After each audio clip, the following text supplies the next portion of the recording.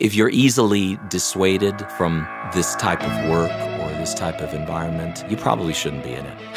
I think a lot of people have said that, sort of like, listen, if you don't have any other option, then by all means, get into recording. But do it only because you can't do anything else. That like nothing else is an option because it's it's not an easy business to be in.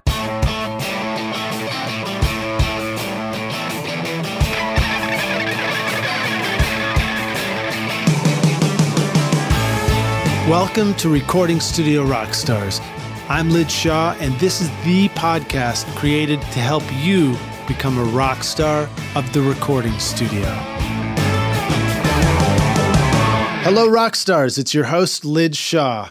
I created this show to introduce you to real world recording professionals to hear their stories and learn from their experiences so that you can take your records to the next level and be a rock star of the studio yourself. My guest today is Slau Halatyn, a recording engineer, producer, and owner of BeSharp Studio in New York City, where he specializes in classical, jazz, musical theater recordings, as well as rock and pop music. Slau has credits with many Grammy, Oscar, and Tony Award winning artists like Steve Hauben, Ulysses Owens Jr., Vince Giordano, Dennis Diken, and Shawn Pelton, to name a few. But you might be more likely to know some of these names for the artists and bands they represent, such as Steely Dan, King Crimson, The Smithereens, James Taylor, Hall & Oates, Cassandra Wilson, and Wynton Marsalis. He is also the host of a great podcast called Sessions with Slau, where he takes you behind the scenes at BeSharp Studio to listen to excerpts from sessions, gear reviews, and equipment shootouts.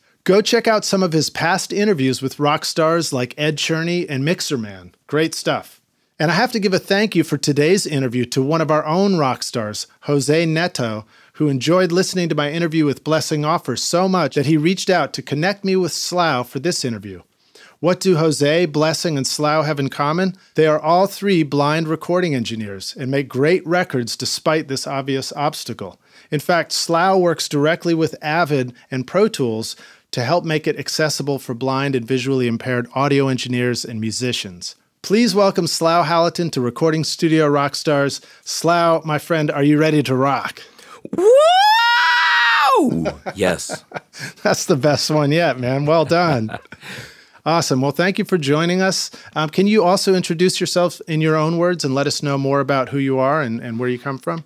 Uh, yeah, I'm. I was uh, born in New York City, uh, grew up here, and started off as a musician, playing in dance bands and stuff. Played a lot of clubs. At that time, I mean, I was really young. I was like 16, 17 years old, but all the band members were several years older than me. But I felt a little bit out of place as you know at that age in some of these you know, clubs like the Red Parrot and Magie, the Underground, you know, the crowd was a lot considerably older than me at that time. I got involved in music as a performer, as a musician first. And then at one point I, I had an opportunity to do some session work as a guitarist for some like documentaries and commercials and stuff like that. And that was like my first exposure to recording studios. And, uh, you know, that was just, that was it. I said, this is what I would like to do. I would like to just create stuff in the studio. It still was a few years before I ended up doing that full time, but once I caught that bug, it was, you know, it was it was festering. You know, I absolutely understand and empathize. I had the same experience. I was playing in a band in Hong Kong of all places when I sort of saw my first professional studio. Mm-hmm. And, and I remember that feeling, you know, especially at the time that we might have seen our first studios, there was a lot of blinking lights and a lot of big, huge machinery that was required, tape machines and and mixing oh, sure. consoles. I don't oh, know. Oh, sure, yeah. You know, somebody's experience today might be just seeing a laptop. Hopefully, they're seeing something more than that. yeah, really, the recording industry has changed so, so much. You know, those of us who, who were in it 20, 25, 30 years ago have seen a tremendous change. People who are coming up now, you know, who are, let's say, in their 20s, really, you know, didn't have that experience, really in a way, it's too bad. It's a shame. But in a way, it's, this is the future. Digital recording being what it is and power of laptops being what they are, you know, it's a different world. It really is. Well, it is kind of exciting. It, it does feel a bit like seeing the inside of a studio for the first time when you first get to see the inside of Pro Tools or Logic or Studio One mm-hmm. or one of these DAWs. Well, so Slau, we like to start out the podcast with an inspirational quote. Do you have one that you'd like to share with us? There's a quote that I remember, and I'll tell you how it applies to the arts and music and recording specifically. And I believe it might have been Somerset Maugham. I, I don't recall who said this originally, but it goes Absence is to love what wind is to fire. It extinguishes the small and it enkindles the great. That's a great saying to begin with. As it pertains to love specifically, uh, literally, it's a great statement. You know, I perceive it as also being the love of anything that you do. You know, you know how kids they want a toy, they want some kind of game or whatever. They play with it for a week and then it's in the closet and they never play with it again. Yeah, I still do that. and, uh, they're called plugins. but you know as far as like just the music world in general and recording and stuff i know that a lot of people have you know the, the gear acquisition uh, syndrome and sort of you know have to get the latest toy the latest whatever it is plug-in or just anything whatever it is. And you know that stuff sometimes i've seen it with other people. They get it they play with it a little while and then it's like Mm. And that's where that whole, you know, the absence extinguishes the small and kindles the great. You know, if you don't have a particular piece of gear that you've used, you know, in the past or whatever, but you use it all the time, if you're without it, you'll make do with whatever. All you need is a couple of tools and, and you're and you're good to go. But, you know, when you are passionate about what you do and you're doing it every day, I think that no matter what the tools are, no matter what you have in your possession, no matter what you have in your life, you're going to produce, put out content. Nothing's going to stop you, in other words. And that's where I sort of look at that quote and say that, you know, if, if you're easily dissuaded from this type of work or this type of environment, you probably shouldn't be in it. I think a lot of people have said that sort of like, listen, if you don't have any other option, then by all means, get into recording. But do it only because you can't do anything else. That like nothing else is an option because it's it's not an easy business to be in. Michael Beinhorn pretty much said the same thing, which was just, you know, mm-hmm.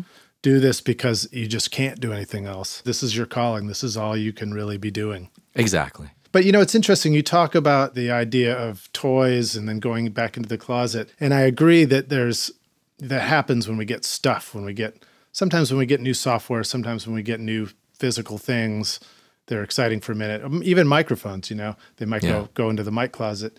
But it's yeah. one of the things that I really appreciate about learning. And when you get new learning, um, whether you necessarily use it or not, it still sticks with you, and it's cumulative in a good way.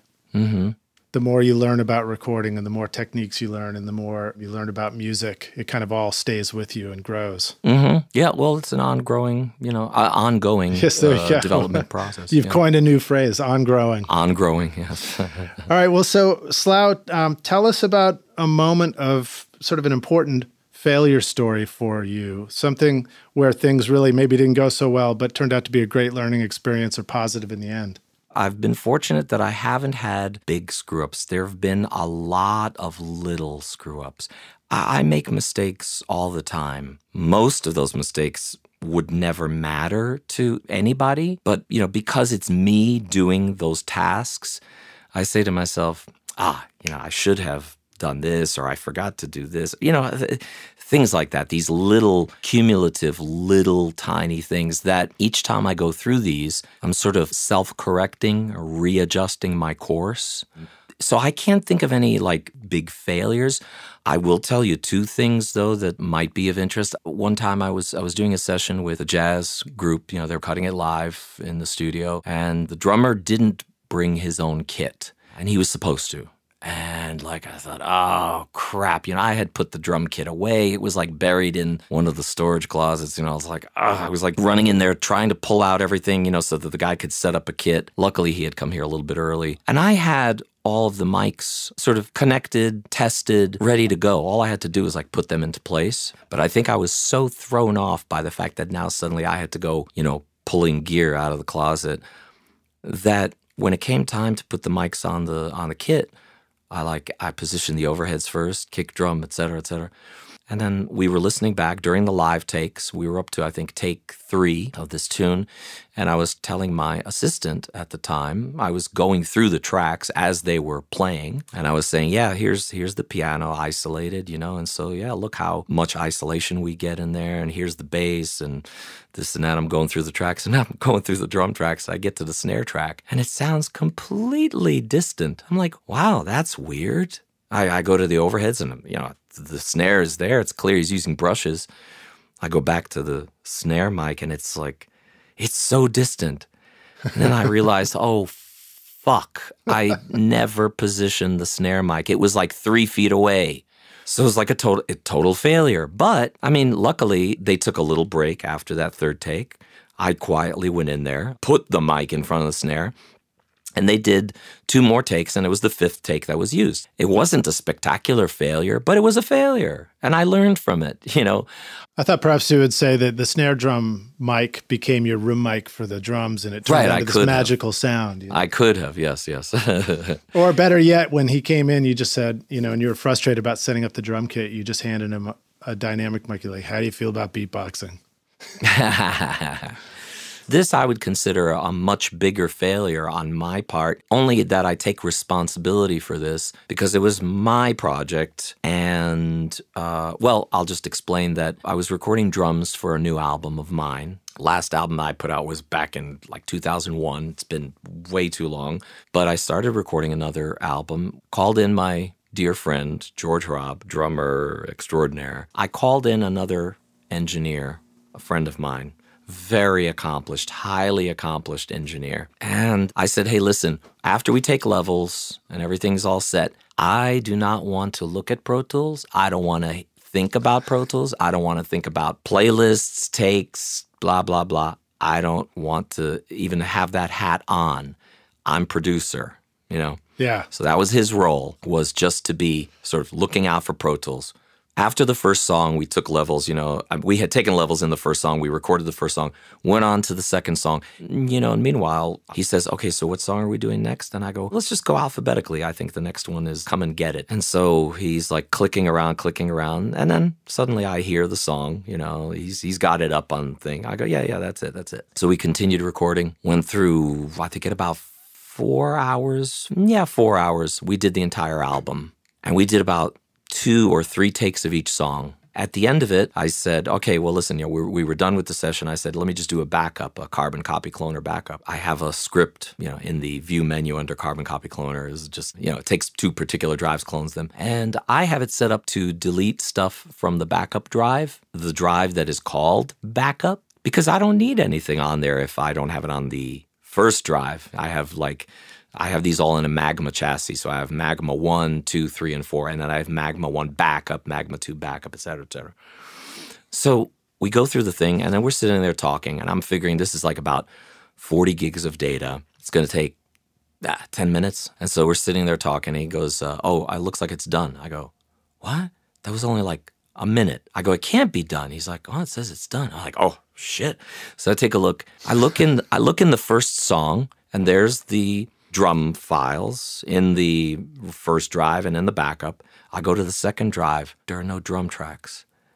Neither in the first drive or the second drive. I go to the third song, the fourth song, the fifth song. The rest of the songs, none of them have drums. And I'm like, what? I, am like dumbfounded. I'm gobsmacked. oh, so man. what he what he had done inadvertently was he went to the backup drive instead of the first drive. Yeah. So we were always recording to the backup drive after the first song, and so when during the carbon copy cloner process, everything got deleted from the from oh, the backup drives. It's, it's just painful, man. My heart hurts right now. Oh, I'm telling you, and he felt so bad. I felt bad, you know, because he felt bad. I felt bad because George had come out, you know, had spent half of his day, you know, recording, mm. and it was gone. I mean, I tried to retrieve the files. I was able to restore the files, but every WAV file only played for about 15 seconds, and then it was silence uh, for the rest of the file. So they got corrupted. Oh, so horrible. And I knew you that's where you were headed because I've experienced that same problem where we did we had a backup drive that was called backup and then we had the master session drive yeah. and and the um, production partner that I was working with, yeah. he opened the session by accident off the backup drive. Off the backup drive, Yeah. yeah. And he recorded, we did all the vocals for this song, fully ah. comped and, and, and Oh, multiple takes for the whole day. It's painful, and and you know, and the thing is, like I, I wasn't angry. I, I felt, you know, sad that this happened, but you know what? I take responsibility because I should not have even had those backup drives mounted. You know what I mean? I left myself open to that possibility, and I should have made sure that there was no chance of a failure like that. Now, in the end, look, first of all, like I said, it's my album, so it wasn't a catastrophe. Had that happened to another client, that would have been ten times worse. Sure, sure. But you know, we we scheduled another session. The two guys came back, and it was even better the second time. So in the end, it all worked out. Yeah, when something like that happens, you learn. You ma- you have to make sure you learn from it. I learned to switch carbon copy cloner to have its safety net on, so that it doesn't delete Yep. the extra files and like just let it sit there let it just keep piling up it'll eventually get overwritten but you know a year from now rather than right on the spot You know, at the risk of of going on a tangent here, I will share mm-hmm. a story with you that happened to me mm-hmm. that is, is very similar. This was mm-hmm. not in the computer though. This was on the tape machine. So this was years ago, and I was doing a recording with the band. I, I can't remember if we were doing demos or album. It didn't really matter. It was it was very important stuff, and we had recorded all morning up till lunch. We're on a tape machine, so I had all the tracks, all twenty four tracks, in record. Yeah And uh, before we left for lunch, I thought, well, I'll just take the, I'll just disarm the tracks just to be safe. So I disarmed all the tracks, and then we came back, and the tape machine was still an input. So that means for you guys, rock stars, that means that you could hear all the audio coming through it, Yes. but none of the tracks were ready to record. Right. And, and so then we jumped back in, got ready for the next song, did multiple takes of it, really nailed a great take, a finished take, and then we moved on to the next song. And then the the guy from the publishing company who happened to be sitting in the control room with me as we were working, he turns to me and he goes, "Shouldn't those tracks be red?" You know, he was looking over at the lights on the tape machine, and sure enough, I, the tape machine was showing that it was recording, but none of the tracks were actually recording anything. So. Yep. That's one of the reasons why I do not use input monitoring in Pro Tools Yeah. Because like I'm going to pay attention to that and like I'm not going to be aware that we weren't actually in record. I always just use the record button for the input monitoring. You know, I, I flip back and forth between auto input and input monitoring, but that's just a keystroke and I can, you know, instantly sort of tell. Well, you you'd be surprised, uh, Slau, at how many people don't even know what auto input monitoring is. Can you explain it for our listeners? Yeah, well, with input monitoring in Pro Tools, I know that it's possibly a little bit different in sort of Pro Tools vanilla versus HD, but if you're in auto input monitoring, when you engage the transport, you're listening to what's been recorded, if anything has been recorded. And if you have tracks record enabled, but you're not in record mode, you won't hear anything. Like, in other words, if a person is in front of a mic and you're not in record, you won't hear them. If you're in input only monitoring, the shortcut is option K, you can hear the person even though you're not in record. So let's say a person just wants to do a couple of rehearsals. If you're in input only monitoring, any record enabled tracks will play back the input source as opposed to anything that's been recorded on that track. Right. So you'll hear yourself on the mic when you're in input, but if you're in auto input, you'll hear what's playing back off Pro Tools before you. Right. And then when you go into record, you hear yourself. Right. So you typically use auto input for like punching in and stuff like that so that people Yeah. can hear what's been what's been done before and stuff like that. Yeah. yeah. Well, so to wrap up my story, I didn't tell anybody right away what happened. I just uh-huh. put him into record. And then after the band got that take of the second song, I walked out there and I said, Hey guys, I got unfortunate news for you. I, I screwed up and I didn't even record any of that song before this after lunch. So it was the right way to do it because it didn't derail the session and the timing was right. But they went ahead and they were forgiving and they just said, okay, well, let's just do it again. And they nailed it. And it's Yeah. something that I noticed that you mentioned too. And I think it's worth commenting on. It's different whether you're doing infinite takes because you can in a computer versus when you lose that other take and you have to do it again. But when mm-hmm. you have to do it again, I've kind of noticed in the studio that more often than not, it's better the next time you do it. Have you noticed that? I guess so. And the thing is, I come from a you know a world where people weren't necessarily so precious about those takes because if you if you had to do another take, you knew that you were going to be erasing a previous take. So it was like okay, you decided, am I going to do it? Am I not? Uh, can I, do I think I can do it better?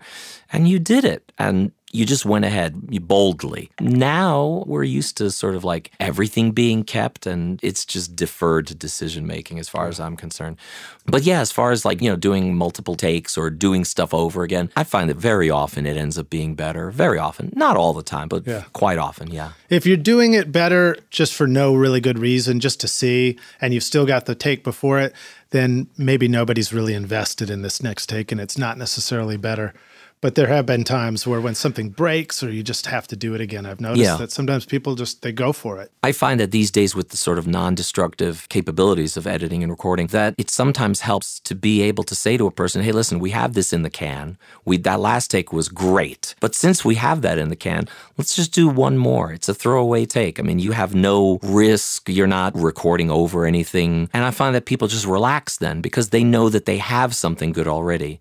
So, you know, sometimes that more relaxed take ends up being even better. And if not, it's fine. We, we always have the previous take. True, true enough. Sometimes being very relaxed or being very dedicated to the result is the way to go. So, Slau, let's ask you for a moment of success for you, a time where things really came together well for you in the studio or in your career. If I had to choose a particular sort of turning point, I think it was when I was living in London and I got a call from a producer in Edmonton, Alberta I was referred to him by a friend. You know, we had a friend in common, and uh, he was looking for a recording engineer to do some orchestral recording in in Ukraine, in Kiev. And he asked me if I'd be interested, and I said, "Sure, yeah, that sounds great. I'd love to." Yeah, really. Um, Why not? and you know, he asked me if if I had experience uh, recording orchestras. I said, "Yeah, absolutely." Of course, I didn't. Naturally, I called all of my friends who recorded orchestras, hit the books, and studied up, and was flying by the seat of my pants. But here's the thing: in that situation, uh, it was a dance ensemble of it's like about 50 members or so, and they would tour with an orchestra, but it got prohibitively expensive. And they wanted to tour from that point on with digital recordings of orchestras. Poor musicians. yeah, I know, I know. but they did a recording in Kiev and they took this recording on the road and they said it sounded they said it sounded terrible in the in the theaters. Oh no. And we're talking like five, 6,000 seat auditoriums. They wanted to change things. They wanted to make sure that somebody's there who knows what they're doing and stuff. So they sent me a copy of the recording that they used on the previous show as the Nutcracker. And I listened to this recording, and it, first of all, it was, it was, not very good technically at the outset. But the other thing was there was there was this digital reverb added to it, which sounded horrible, but plenty of it as well. I knew immediately that this was an issue because if you play back, you know, a highly reverberant recording in a big auditorium, everything's going to sound washed out. Yeah. And I said to the producer, what we have to do is record this orchestra as dry as possible. And he said, You sure? and I said, Yes. Yeah. And I was gambling. It was a gamble. But I felt that that was the way to go. I had, again, consulted with other colleagues of mine that that had recorded orchestras and they understood what I was trying to achieve and they said, "Well, that that does sound reasonable what you're you know, what you're shooting for." And I went out there in 1994 to Kiev, recorded the orchestra bone dry, and I got a call from that producer while they were on the road. I think they were in Australia at the time doing a tour, and I get this phone call from him and you know it's like, you know, you, you answer the phone, you hear shh, beep, shh You know, it's like what is what? Oh, this sounds like a, one of those long overseas calls. And suddenly I hear his voice. And he says, Hey, listen, I had to tell you that every theater we've been going to, like all the front of house engineers have been saying, Wow, this sounds great. This recording sounds great. And again, I had taken a risk, but it paid off because the producer was thrilled. It did the trick, you know, uh, what I set out to do um, worked. And I've I've had that gig ever since. So it's been 22 years now or something. Wow. And so, you know, I think a great takeaway is that when the opportunity came along, you were willing to take a huge risk and just say, yeah, sure, I can do that. And then just figure it out. Yes, it was a risk. In my estimation, it wasn't a big risk because to record an orchestra with essentially little to no room sound, which of course is it's impossible to record it without the room sound, but to sort of like not add anything, to not accentuate anything and to mix the thing where you're sort of focused on individual instrument microphones, you know, spot miking as opposed to just the Decca tree or something like that. Uh, it's a bit of a risk. Mm-hmm. And, and it totally paid off, though. I was I was very fortunate. That's very cool. And I think another takeaway for you rock stars is to be realize that when you are mixing in your home studio environments, if your space, for example, is reverberant, it's going to affect the way that you mix because you may start finding that your mixes are really dry. You don't want to, you hesitate to add stuff, or vice versa. If it's really, really dead, you might add more effects to it. So the room yeah. that you listen back to makes a huge impact on the sound of it. Sure. Well, both both the recording room and the and the mixing room. Yeah, yeah. for sure. Well, so Slau, tell us what's one of the, your favorite things. What what do you really love most about your job? One of the things that I really love most is that it's never the same thing twice. There's always some new project. Even that said, I mean, I, I do a lot of these musical cast albums, like these off Broadway productions. It's the same kind of work in the sense that it's it's very much you know the music is recorded first and then we're bringing in singers and different sort of groupings of singers to do the stuff so it is the same kind of work but it's never the same music. It's never the same singers. Well, I shouldn't say that. It's often working with some of the same singers, but more often than not, it's new people coming in in different sort of groupings. And, you know, it's just never boring. It's so rewarding at the end to sort of wrap up a project. And then there's always something either already taking place, you know, different projects or something on the immediate horizon. To me, I, am the luckiest person in the world to have that kind of a situation. Yeah, I I love hearing that and Chad Brown even just pointed out on the podcast, you know, it's a privilege to be able to record music for a living. It really is. I mean, I'm not at all a religious person. I have no sort of no religious affiliations. Uh, in fact, I'm an atheist. But to me, recording music is sacred.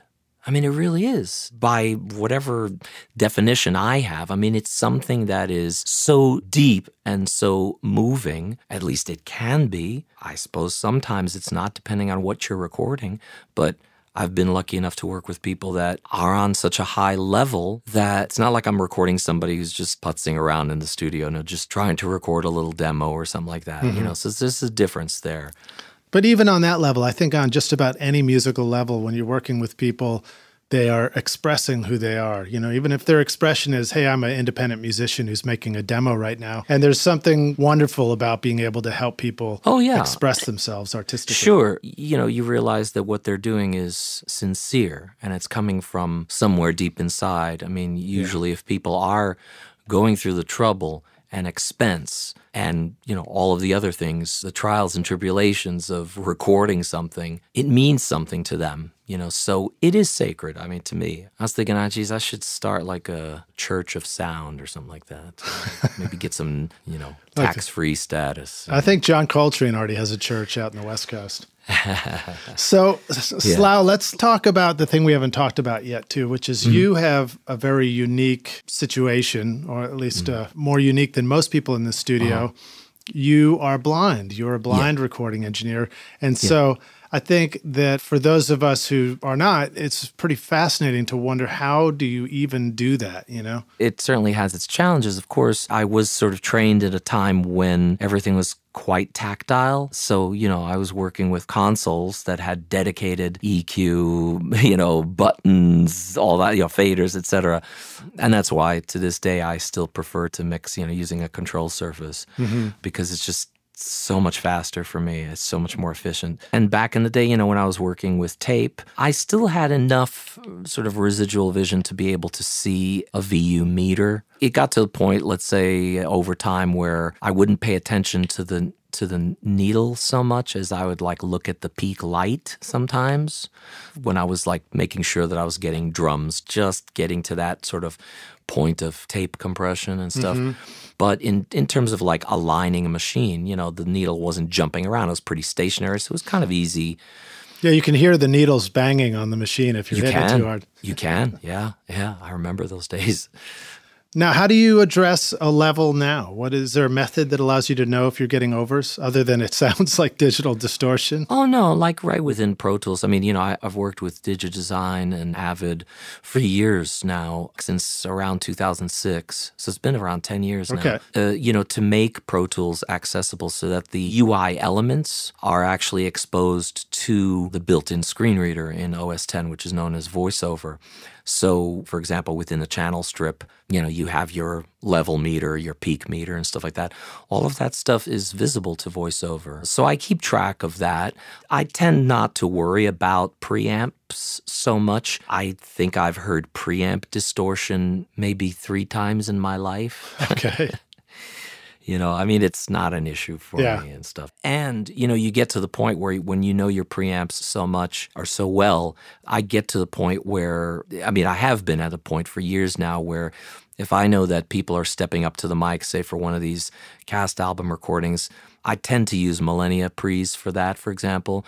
And I just happen to know like pretty much exactly where to set those pre's for an average singer, Yeah, you know. yeah.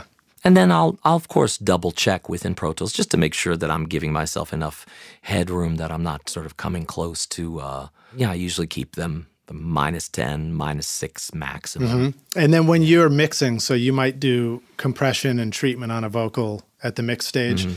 you can still manipulate the plugins Yeah, and and Yeah. So here's a here's a question because these ones are popping into my head as we're talking yeah, about this. sure, sure. What's the experience like for you when you're comparing different plugins? So for us, Mm. for example, you know they make these. Uh, when I say us, I just mean for those with vision. You can see, you know, they may give you it looks like an old, you know, Fairchild 670 or something, or it Right, looks like a right. Neve 1073. Right, right. Does does it sort of homogenize that stuff for you and make it easier to, to tell what you think about plugins because you just you're just they're they all have the same knob settings. You're just hearing the difference. Yeah, I think I have that advantage of not seeing that eye candy. I have never, ever, ever, ever evaluated a plugin based on its look. and I think that that is sort of a, a little bit of a mesmerizing thing, you know, to people who sort of, you know, look at a plugin and they go, oh, this plugin sounds great. So you, you And I haven't even- seen any of the new floral patterns? Just. No. no, have not. So, uh, you know, everything with plugins, as far as the way VoiceOver sees it in Pro Tools, it's just parameters. It's all you see. You just see the parameters and you just adjust them. You see what that parameter is, what its value is, and you could boost it, cut it, change the frequency, et cetera, et cetera. But like, you're not at all influenced by what it looks like, you know. So, which, you know, hey, it is what it is. I'm not influenced by what gear looks like in the hardware world. Right. Although I am definitely, certainly influenced by how it feels. I mean, because, you know, you feel a nice, thick switch click into place and you go, oh, this is built like a tank, you know? Or you feel something flimsy and you go, oh, I don't know. You know, but the two are different. One is hardware, one is software. And, and in terms of the software world, yes, I'm sure there's varying degrees of quality, undoubtedly, in terms of the algorithms, how things are written. But I don't judge them based on anything other than how they sound to me. That's it. Well, so are there some? This may be hard to riff on off the top of your head, but are there some new plugins that have come along that had new settings within them that didn't exist in other plugins that are remarkable to you? Yeah, they, it is difficult to think of off the top of my head, but what I can say is that plugins like SoundRadix Drum Leveler, mm-hmm. holy shit, I am stunned by what it can do in terms of like gating and stuff like that. I could never get that kind of result or effect with any other plugin. I haven't been able to. Maybe somebody else has. You know, the, the SPL Transient Designer. Oh my gosh. I used the hardware unit once, but in a rental situation is like, oh, this is great. But it wasn't like I was using it every day. But I did know that that was something that I wanted to look into, and I got one. You know what I mean? I got the plugin, and it's just fantastic. By the way, I usually ride things into the SPL Transient Designer, sort of like, you know, on a console. Let's say you ride a vocal track into a mm-hmm. compressor, you know, rather than keeping it in the insert. Yeah. So how do you do that? What What do you use to ride it going in? Well, I use another track in Pro Tools. So in other words, I have the the actual, let's say, a snare track, for example. I'll put a drum leveler into that track. Let's say, and I typically do this for snare because that's where I find that it's most useful. I try to eliminate hi hat bleed to, into that snare mic. And then sometimes when you have these situations where there's a you know, out of let's say eight snare hits in a couple of bars, maybe two of them aren't exactly where they should be. You wish they were a little bit hotter or, you know what I mean, like a little bit more aggressive. Well, if you simply bring up the volume, all you're going to have is a louder snare that doesn't have the character that you're looking for. Mm-hmm. But if you route that output to an SPL track with a, a SPL transient designer on it and set it at an appropriate level, if you raise the level of the snare track going into that transient designer, it'll give it more of a snap. So you will actually change the character of the snare. So it sounds like the snare is snappier when you want it, not all the time. You know, you back it off for the rest of the song, but you know, for those areas where you need it to have more of a crack, yeah. you just ride it into that compressor. And that's a little more old school too. That's a little more of what it felt like to mix in yeah. a console, right? Exactly, because I used to do that all the time, and you know, with a multi-track recorder and, and a console. And so here it is. Essentially, I'm, I'm doing the same kind of thing, and then you know, at the end of it, you could print it or whatever, and just get rid of the extra track, etc. You know, and another analogy for those of you who are guitar players, imagine the difference between a solid state guitar amp and a tube guitar amp, and how as you dig harder into the guitar with the solid state, maybe the guitar gets a lot louder versus a tube, it might kind of saturate the tubes more. And and so yeah. it allows you to be expressive with your with your mm-hmm. playing. So those are great tips. We're going to go here and take a break and go to the jam session then come back for that. But before we switch gears, can I ask you a couple of quick questions about your experience yeah. in the studio? Sure. And bear with me on this. If I was to walk yeah. in on a session while you were in there in the studio, would there be mm-hmm. any lights on? Would the screen be on? Oh yeah. Yeah, yeah, there would be, of course. And I say, of course, because I work with other people. So why would I not have the lights sure, on? Sure, I mean, sure. I, you know, but I do know, I, I certainly do know some blind musicians who, when they're working alone, you know, I, there's no need for them to turn on a light. And sometimes, like now, when I'm not in a session, I have, like, uh, let's say I have a 46 inch monitor suspended from the ceiling, you know, over the, the you know the, the control mm-hmm. surface mm-hmm. over the, the big desk and stuff like that over the the windows to the live room and it's freaking bright and the thing is that's enough light for me to me it doesn't matter specifically if it's on but it does help me a little bit with orientation mm. you know if i turn around a couple of times and i'm like doing stuff. You know, sometimes you can sort of like start to lose your bearing a little bit. And so having that light source, and I can detect the light source, sometimes that's helpful. Of course, when there's music playing, then of course I hear the speaker, so I always have a reference. That's fascinating. Yeah. Um, okay, mm. so next question is I know that one of the ways that you interface with the computer is the same thing that I'm familiar with from working with Blessing Offor, which is right. you have the voiceover speaks very quickly to you and, and tells you what's yeah, on the screen and yeah. what's going on. Yeah. And um, mm-hmm. maybe you could talk about that for just a sec. But here was something I proposed to Blessing, which is I thought maybe that maybe the whole world could have a takeaway from that. What if we could uh-huh. speed listen? Through music. What would that experience be like? if you could make decisions that are sort of routine, maybe, but you can arrive at them quickly because you could quickly go through the song.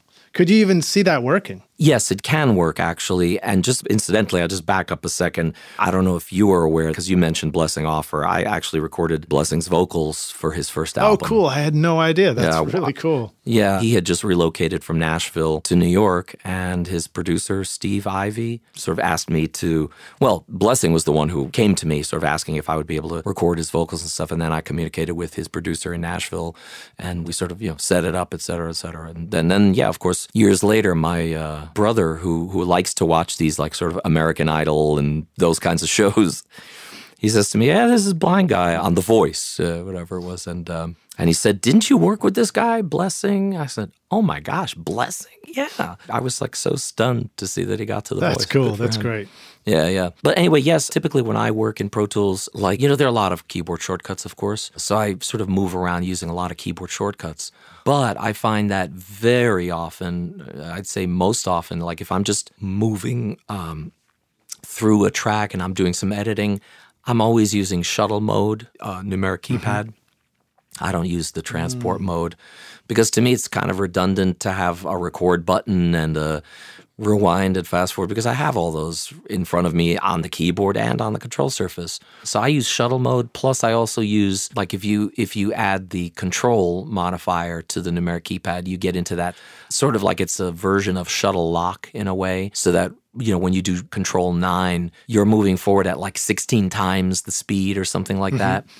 And so I'm able to, I, have gotten used to recognizing things at a very high speed. And yeah, I mean, it's just that's what you get used to, you know. And the thing with with voiceover, of course, for any blind, you know, screen reader user, yeah, they're they're used to hearing it ripping at such a high speed, a high rate of speed, and That's, that's fascinating. Have you ever found that you are faster at Pro Tools than some other engineers who in some tasks, but not in all, of Right. course. It depends. And just I try to be as fast as I can wherever possible. I mean, yeah, like sometimes, again, those keyboard shortcuts, people will go mousing around trying to find something. Where, you know, I'll be there sooner than they will in terms of like navigation. yeah, your fingers Uh, are doing but- twister on the keyboard, right? Yeah, like if I'm fast forwarding through a section where we did a live take or something like that, and there's some silence, since I'm forwarding through it, albeit at eight times or 16 times speed, it still does take a few seconds for me to perhaps reach that point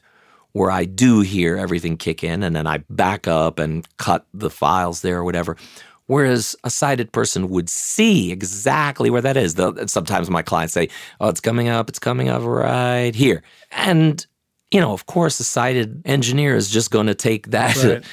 trimmer tool and just point to that spot. Boom, Mm. they're done. So there are just certain things that are always going to be faster for a sighted engineer. Well, so uh, what are and- what are some of the instances where you might recommend to anybody, hey, you know, if you knew how to do this high speed listen, this would really help you in these situations. Can you think of any? I think that if you were used to listening to music that way, you might find it helpful. But the thing is, again, if you don't, I don't know that there's specifically anything about that style of working or navigating or editing that's particularly more helpful. Let me let me interject just- a question here. So I'll throw out a suggestion. What about you're listening through and you're just telling if the parts were played correctly or if their drum fills sounded good?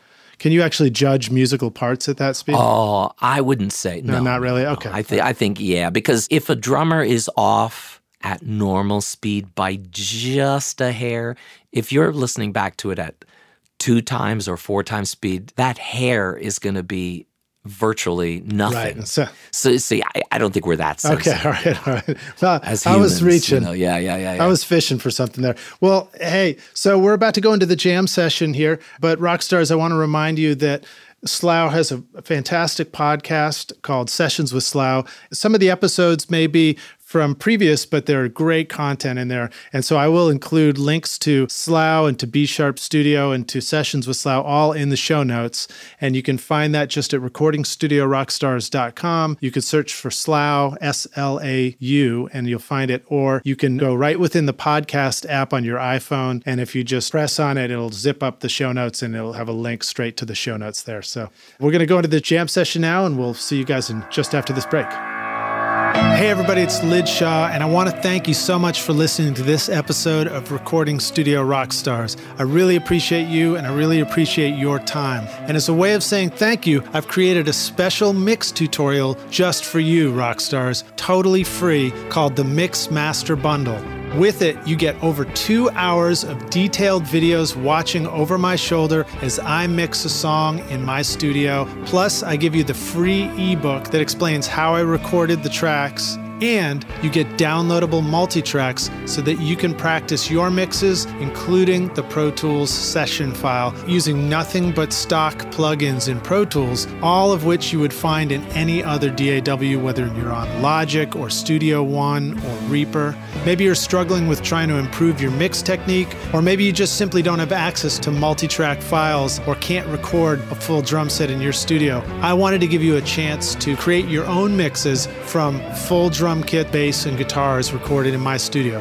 The song is called American Winter and it's off my instrumental record Skadoosh, and it's all available for you totally free right now. All you need to do to get it is text Mix Master Bundle to 33444 and I'll send it directly to your email. Again, that's Mix Master Bundle with no space to 33444, or you can go directly to mixmasterbundle.com, enter your email, and I'll send all the files directly to you. Thanks so much, rock stars. We'll see you guys in the jam session. Cheers. Hey, rock stars, it's Lij Shaw with Recording Studio Rockstars, and we're back in now with Slau Halatyn for the jam session. Slau, are you ready to jam, my friend? Absolutely. Awesome. Well, so when you were starting out and recording or within your career, what were some things that were holding you back? When I was a kid, when I was a wee lad, music, recording just didn't seem like a, a viable employment option. And uh, it, it did take me years to sort of get to that point. So it was nothing in particular. It was almost sort of like self imposed. I just didn't think that, you know, I could do that for a living. So it's kind of like just a, a little bit of a nothing specific, but kind of just a general feeling that, hey, I don't know if I could do that. Yeah, well, so, remarkably, you're doing it. Yeah, yeah. It just took me longer to get here, but I got here. Okay, so. cool. Uh, what was some of the best advice you received? Two things. One it relates a little bit more to music. My old piano teacher gave me some advice because I, you know, at the time when I was in college for music for audio recording, I was, you know, I was already working. I was essentially working and going to school. So I was recording a lot of fantastic musicians already.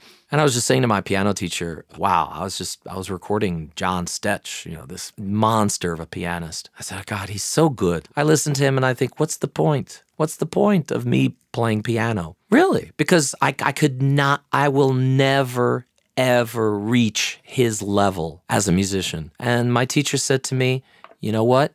A musician, no matter how good they are, can only be at one gig at a time. Meaning, hey, there are plenty of gigs out there. There's plenty for the taking. So it doesn't matter if you're the best. There's always going to be something for you. Just go out there and do it. And the other one is just kind of a little bit of uh, advice that uh, I mentioned George Hrab. He's said this before, and I think that it's a wise statement that talent will not get you the gig, but talent will allow you to keep the gigs you get. Because, you know, you could be the greatest, but you need that break. You need those connections. You need to put yourself out there. And you're not going to get a gig because you're so great at, you know, getting a drum sound. You're going to get a gig because somebody you recorded plays the recording for somebody else, and they go, "Oh wow, that, that, yeah, that sounds good. I, hey, I'm going to give that person a call." And then it's going to, you know, this is going to lead to the next thing, and that's going to lead to something else, and it's going to be a matter of sort of connections and networking. That's what's going to get you the gig. You know, and a reminder there is that if you are great at getting those drum sounds and you do get them for that first person, you might want to make sure you're getting them for somebody that's going to release the record so that it does get played for their friend. well, yeah. One one would hope. Yes, one would hope. But speaking of that, though, also, I mean, look, people who are starting out, you know, in recording are probably not going to be working with great musicians. You know, they're going to be working with you know, amateurs to, you know, hobbyists, enthusiasts, and maybe some decent musicians. That's just the reality, you know. Um, there's no real tried and true path to working with great musicians except just simply being the best, you know, trying to be the best that you can be. Yeah, well, you got to be near some great you, musicians. That helps, that helps, Yeah. So if you you know if you're in New York, L.A., Nashville, that kind of thing, that goes a long way because you're already in a pond with a lot of fish that are really fantastic musicians. I think back to one of the one of the panels at AES, I think it was in San Francisco, and Ed Cherney was saying, you know, about, his growth as an engineer. You know, he was saying that he was recording drummers, and that was like one of the big sort of badges of honor if you could get a great drum sound, you know, because it's a challenging instrument to, you know, to get to sound right. You know, he was working, you know, recording a lot of drummers, but he was never really satisfied with what he was doing. And at some point, and I won't remember the name, but he mentioned a drummer who obviously was quite an accomplished session drummer, let's say, who came in and Ed put up the mics just as he always did. And he, you know, brings up the faders and it sounds fantastic. And he like he's stunned and he says, "Damn, I'm good." and of course, as you know, it's not him, it's the drummer, of course. But you know, when you work with great musicians, they make you sound great. And that's yeah. It's like that do no harm kind of concept. Just don't yeah. fuck it up, you know. Uh, well, it reminds me of a story that I heard. I think it was about Chet Atkins, where somebody came up to him and Chet was playing a guitar, and he said, "He goes, man, that guitar sounds great, man." And Chet lays it down in the guitar case, and he goes, "How's it sound now?" I know, yeah, yeah. That's that's a that's a a well-known uh, sort of like story. Whether it's true or not, I'm not sure, but that is who cares. It doesn't matter. It teaches a lesson. It teaches a lesson. yeah. Exactly we're doing music. We live in a land of story. Yes. yes. So, um, share with us now a great recording tip, hack, or secret sauce, something our rock stars could oh. take away and use today. There is this thing that I've been doing on drum, not on drum overheads, but sort of like drum room mics. That uh, I've asked a lot of engineers, and I haven't heard of anybody doing this. I can't imagine that I'm the first person to do this, but I've never heard of anybody doing this. And it is to take a Blumlein pair of ribbon mics. And I suppose you could do it with a couple of figure eight condensers as well, obviously. But I, I like to use uh, ribbons on rooms and, and drum overheads. And the Blumlein array, of course, records in stereo to the front of the array, and then it records, you know, the rest of the room from behind. You know, so it is practically an omnidirectional kind of a thing, right? But it's uh, mm-hmm. a little bit directional, of course. But rather than like if, if you take a pair of uh, you know a, bl- a Blumlein pair and take them back from the drums uh, say about eight or ten feet instead of having the the microphones facing the drum kit point the nulls the top of the microphones where it's rejecting the most point that at the drums. So then what you're getting from those mics is just room. I mean, yeah, you're getting some direct signal, but just stuff that's bouncing around. And it's a way to, you know, get a room sound that sounds even bigger than if the mics were facing the drum kit. Aim them, like I said, with the nulls pointed at the drums you can also, even if you have some gobos, you could even put that between the mics and the drums. And then it's really just getting the corners of the room. In other words, the cool. the corner where the ceiling meets the left wall, the corner where the ceiling meets the right floor, the bottom where the floor meets the right side and the left side. Take that and crush the shit out of it. And it is fantastic. I mean, it really, if you want to get a you know, a much bigger room sound. I find that it sounds very natural and just, you know, of course, dial it in. Yeah, that's a great tip too for studio owners, you know, home studios where you don't have a big space and you're really trying to figure out exactly. how to get more of that sound. Exactly. Well, so great tips, Lau. Uh, now, how about a favorite hardware tool for the studio? Something that you really like to have around with you when you're in, on you sessions? know, I could answer any of these questions in, in a couple of ways. So I'm just going to say that if I had to start over and like, and I had to buy hardware again, microphones are probably one of the first things that I would consider, aside from monitors, of course. I mean, naturally. But to me, like right now, I think I have something like 80 mics in the closet. If I had to start over again, I would just get the Microtech Gefell UM70s. That's all I would use. Oh, yeah. Those are great uh, mics. They are fantastic. They are my favorite mics, and I could record anything with them. They're just my, my favorite mics these days. Yeah. Nice tip, man. I like that.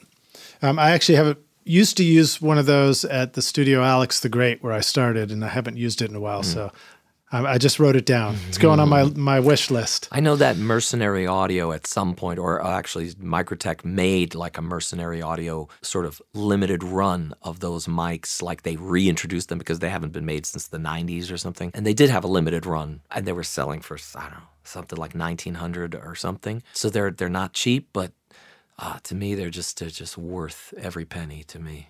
They're less expensive than 80 microphones. Yes, well, that, there you go. so now, Slau, share with us a favorite software tool for the studio. One tool that I think I know one other person who's using this is uh, Waveburner from Apple. Are you mm-hmm. familiar with it?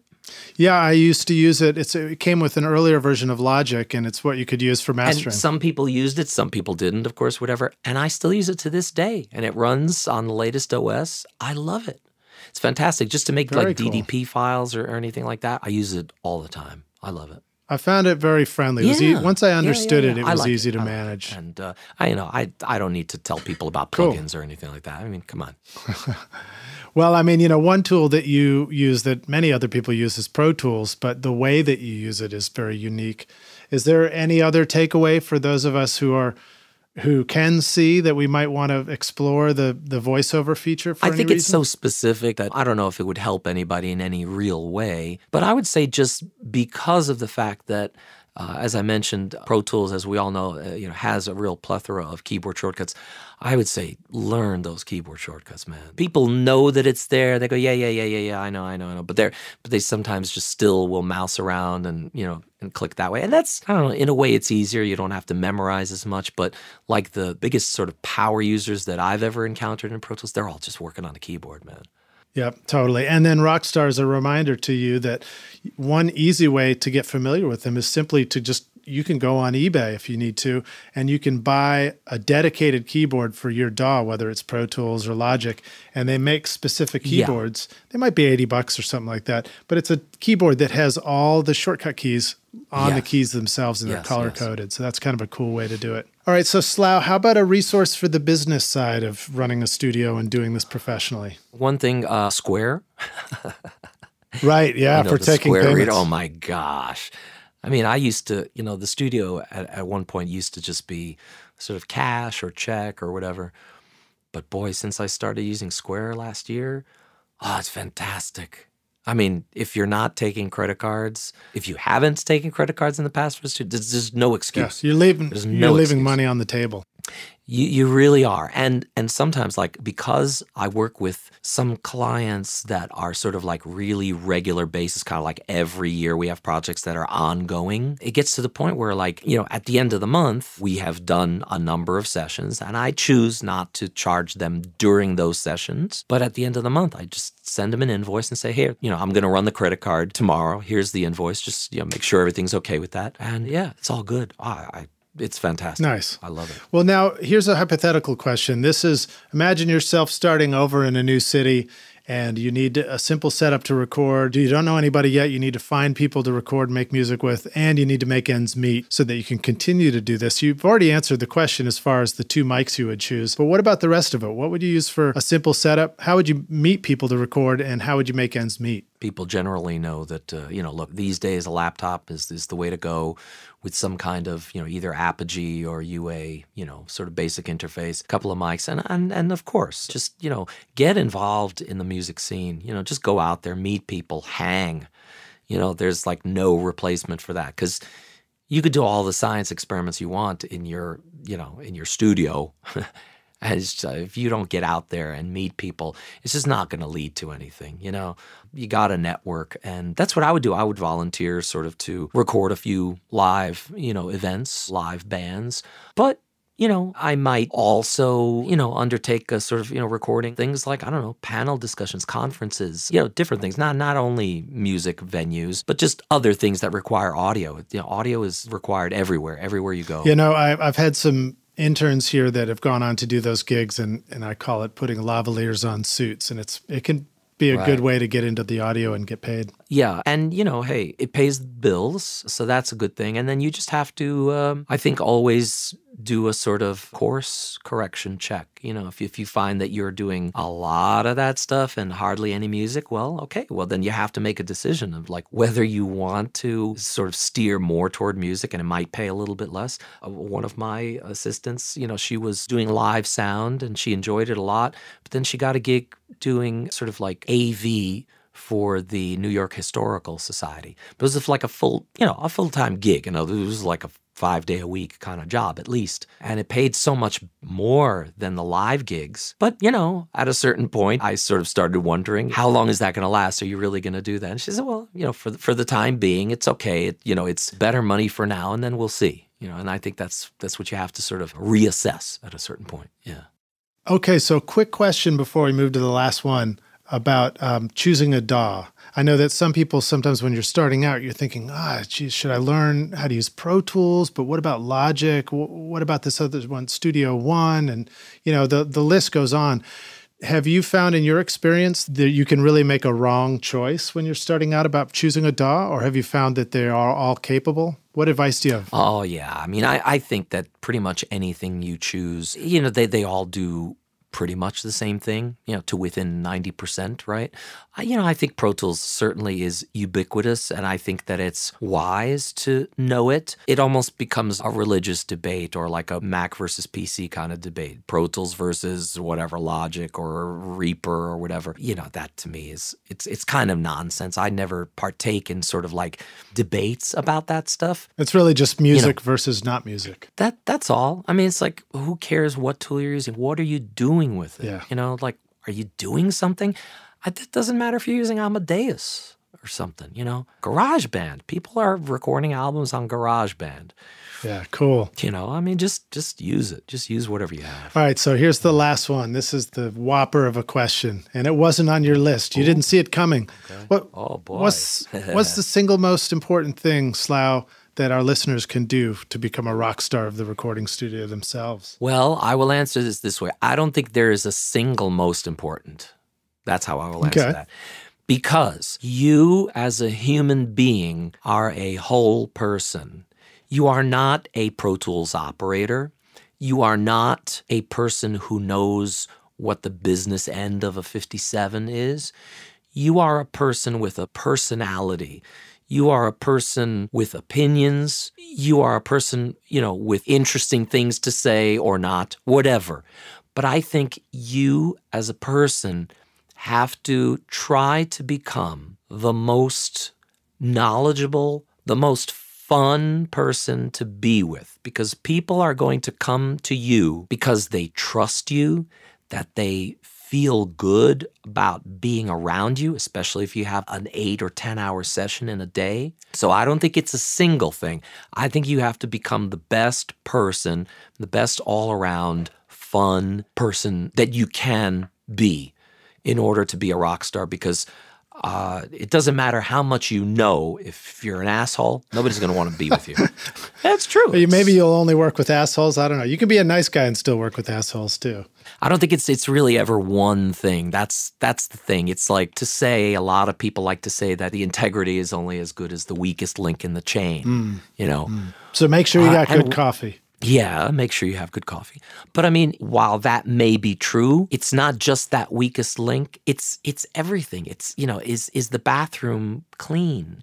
Is you know, is the coffee good? Yeah, exactly. It's, I mean, it's funny you bring that up. I try to have a policy here that there's always three extra rolls of toilet paper sitting on top of the toilet. I just because I, you know, I tell everybody, I'm like, look, the last thing you want somebody to go through is running out of toilet paper in a studio. Uh, talk about, you know, really kind of spoiling the moment for somebody. Totally. There are two other things that came to mind that I would like to mention. He mentioned Mixerman before, and I certainly did an interview with him on the podcast. I think we even did two, actually. His zen and the art of, uh, you know, mixing, recording, producing are fantastic resources that you can read as a beginner or a total seasoned pro and still get stuff out of mm-hmm. it. I would so highly recommend that series of books. Maybe they should be read in the order they were written, which would have been mixing, producing, and recording.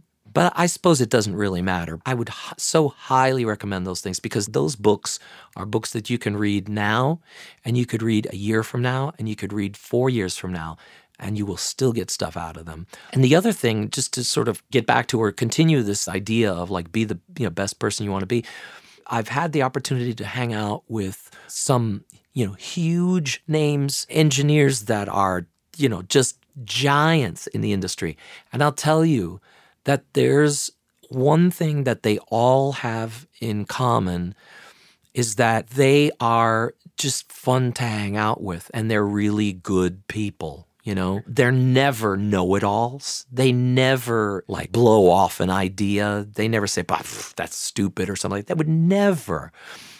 Um, yeah. They are all supremely confident.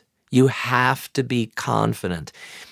And I think I'm confident to a fault. I think before I met my wife, I thought, you know, well, you know, I know this, I know the answer is this, et cetera, et cetera. And if there's anything I learned from my wife over the years, is that I could be wrong.